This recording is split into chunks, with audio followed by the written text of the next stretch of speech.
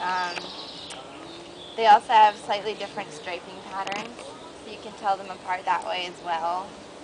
Um, zebras, camels have been domesticated for a long time as pack and riding animals.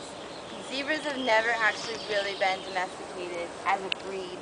Um, you can teach them, you can ride them, you can use them, you know, like a horse. It just takes a lot more work because they have a lot more of those wild instincts that have just been bred into them for a really long time. So zebras have never really been totally domesticated. Um, you can really tell that by the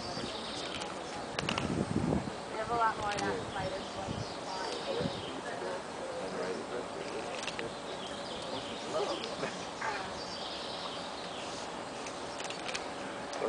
Yeah.